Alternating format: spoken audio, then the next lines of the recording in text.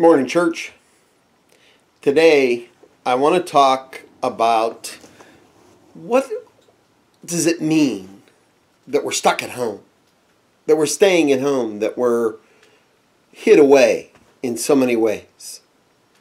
Why? Because we're afraid, we're questioning what the future looks like, we're wondering what lies ahead for us, not just in the days, but in the months and maybe even years to come. We're at home. I'm at home.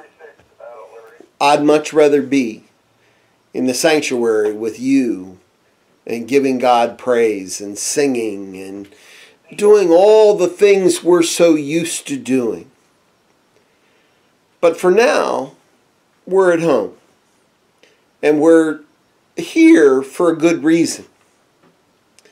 But I'd like to suggest to you today, on this week after Easter, that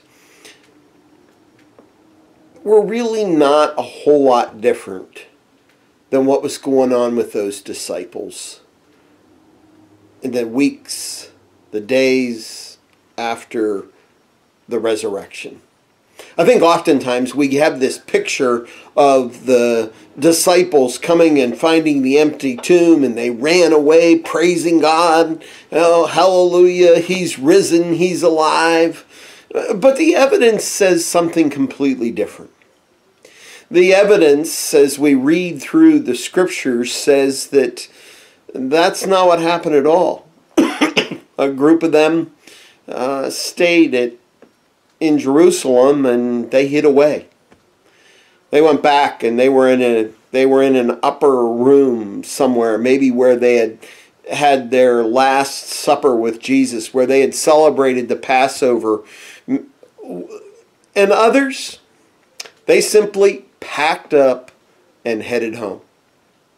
There's a great story in Luke chapter 24 about two men who leave and are on their way to to the city of Emmaus, a day's walk, and they're walking home, and as they walk, um, this man walks up along with them, who they don't recognize as Jesus, but as he walks with them, and they're they're talking about what has happened in the last couple of days. And uh, what are you talking about? He asked them. Are you the only one in Jerusalem who doesn't know about these things? What things? He asks. I, I, I have to laugh almost every time I read through that story. I can just see Jesus asking that question. What things? And so they begin to tell him what had happened, how this one who they thought was going to lead them to a future of freedom and justice and, and, and set the people free had instead found himself arrested, beaten, crucified, and laid in a tomb. And then maybe the most fantastic part of the story is they look at him and say, But this morning something happened that's confused us. Some women came and told us that they had seen Jesus and he was alive. And others went and found the tomb just like the, the women had told us. And we're wondering what all this means. Well, that's the world we live in today, too, isn't it? We're wondering what all of this means for us. And so we're in a place that's much different than where we'd choose to be.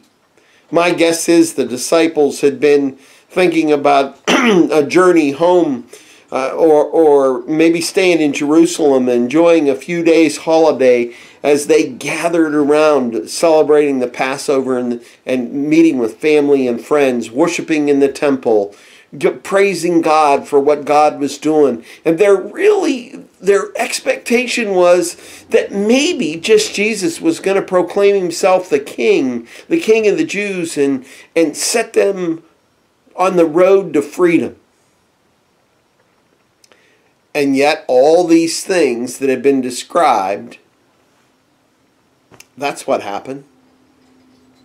And so, as those men walked on towards home and they got near Emmaus, they, Jesus was going to walk on, keep on going, and they said, Come and stay with us. And so Jesus went and, and he sat down to have a meal with them.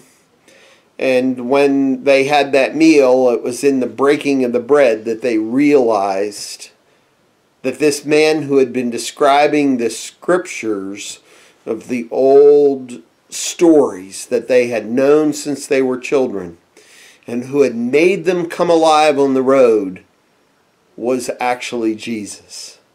And they were amazed. A part of that story is, and Jesus was gone. We know that Jesus, in another gospel, we're told that that very evening he appeared to the disciples. And they were amazed as he stood there in their midst and warned them of what was yet to come. That they should go on about life and that he would join them again. And over, over the next few weeks, he would continue to appear to them and shape who they were going to become. The question I have for us today is who are we going to become? What are we going to look like? What, are the, what is the church going to look like when we come to the other side of this time in our lives? None of us would have chosen this time. We would have preferred that that the routines of life would have just continued on. But they're not. And it's not likely that life will return to normal at least for a few more weeks or maybe even a few months. I know I've had a lot of conversation with people that are saying, well, I don't really care what the politicians decide. I'm, I'm going to be careful. I'm really not anxious to gather with a lot of people uh, as much as I enjoy that. I want to be careful because I want to be safe. So we don't know what the future is going to look like. But we do know one thing. Just like those disciples, Jesus is preparing us for a future that probably looks different than we expected it to look. The one thing I've been encouraged by is just because we've not been gathering in our buildings for worship, we're still having the opportunity and taking advantage of truly being the church. Almost every day I talk to somebody who tells me a story about a way someone from the church reached out to them uh, the way somebody within the life of the church made a difference in their life. Yes, people are still getting sick. And while I can't visit them in the hospital like I used to, while I can't be there before somebody has surgery to pray with them, I did have the opportunity this week to spend a few minutes with somebody just shortly before they entered the church triumphant and passed from this life into eternity. That's always a sobering moment for me. When I'm with somebody or I hear that they have gone on to claim their eternal reward. And the truth is that all of us one day are going to be there. And the question that we need to be asking ourselves is are we ready? Are we ready for that day when we take our final breath on this earth and enter into the eternity in the presence of our Creator? That's a really important question for every one of us. Now, some, when they hear me tell these stories of Jesus, they, they laugh or, or some will even mock me and make fun of me how foolish this is. Well, both Jesus and the Apostle Paul said that that would happen, so we shouldn't really be surprised, for it does seem like an incredible story. But there's one thing I've learned over the course of my life, now covering more than six decades, is that much of life changes. And while I don't always like those changes that occur, they still come.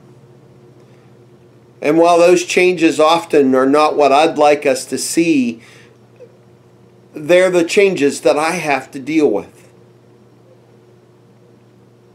God has often got a very different plan. I, I sometimes say, well, I plan and God laughs because oftentimes where God takes me or wants uh, sends me, wants me to go, is not where I would have chosen to go. Well, I think that was true for most of the disciples that surrounded Jesus. The apostles would begin to take and build the church that we still celebrate today. I want you to think about that today. That that small cluster of men and women that gathered in Jerusalem and then began to spread out and they began to tell the story. They while they were hidden away for the next several weeks, while they were accepting the challenge of uh, of trying to figure out who they were and what what they were, they were they the, God was shaping them into be the leaders of the church that was yet to come. And since then, that story has been handed down. But the most important part of that story isn't just the story, it's the witness that has been developed. As God has done mighty work in, in our lives in so many different ways. And as God has done work in our lives, we begin to share that story how God transformed us and changed us into who we are today. God is changing us. God is shaping the church of the future, not the church that's comfortable and, and, and, and, and, and hidden away, but the church that's disturbed, that's, that's sent out into the world. And you and I have an opportunity to be a part of that church. And so while we're not where we'd like to be today, where, where we're, we're at home or, or, or, or wherever you are, God is still at work in our midst. And He's shaping the church of tomorrow. I truly believe that. What we're learning in these days as we have time to dwell upon the Scripture, as we have time to look upon what God is doing in our lives and teaching us in this time, while we take advantage of this time together, then I hope that whatever God has planned for us changes our lives in such a way that when we do gather again in our sanctuaries for worship, we have tremendous praise for God because He has done a tremendous work in us in teaching us to be the church. And so I don't know what God is teaching you.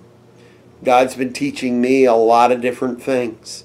I'm learning to use tools that I never expected to have to know.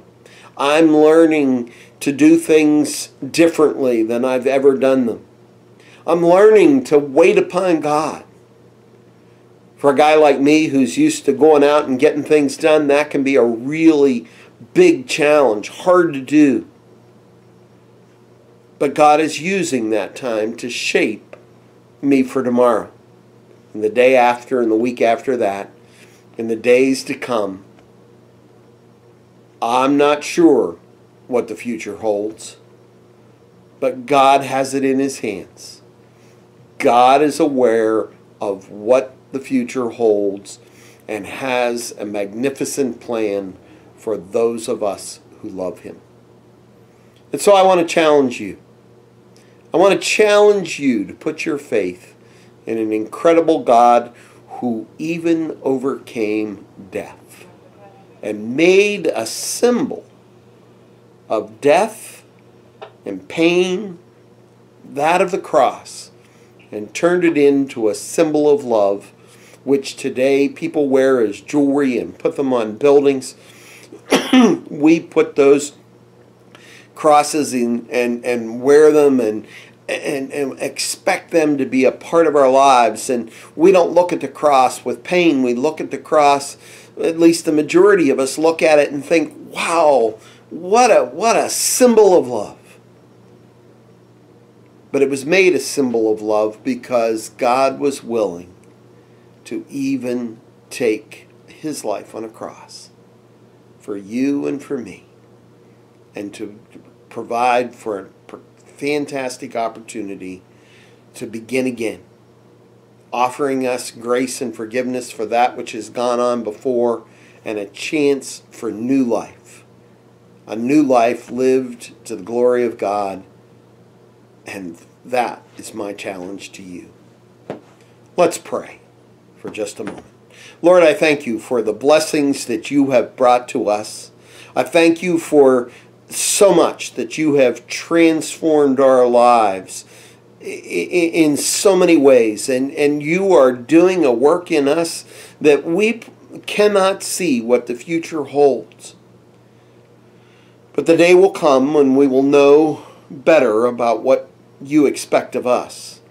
The opportunities what we've learned through this process about ourselves about one another about the church and about our community about our friends and family uh, that live around us. We're learning, we're learning so much about them. We're learning who we can trust and, and, and who cares. We're learning about how you have done a mighty work in us. And so today, O oh Lord, as we gather before you, fill us with your mighty spirit that we might be receiving the peace of your love and care. And Lord, just like those disciples on their way to Emmaus, might we see you in one another. May we see the, the face of, of God, the, the image in who in who we have been made, so that we have an opportunity to share the good news that God loves us in the midst of all of this and we'll give you the praise, even as we come together and pray as you taught us to pray. Our Father, who art in heaven, hallowed be thy name. Thy kingdom come, thy will be done, on earth as it is in heaven. Give us this day our daily bread, and forgive us our trespasses, as we forgive those who trespass against us. And lead us not into temptation, but deliver us from evil. For thou art the kingdom and the power and the glory now and forever and ever. Amen.